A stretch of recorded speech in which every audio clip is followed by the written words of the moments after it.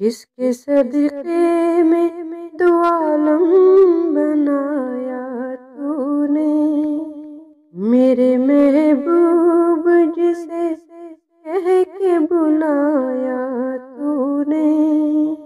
वास्ता उसका गुनहगार की बख्शिश कर दे। अपने इस बंदे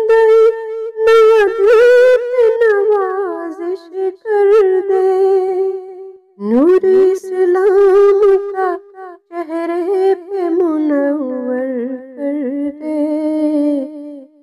रब कौन मेरे दिल की दुआएँ सुन ले। रब कौन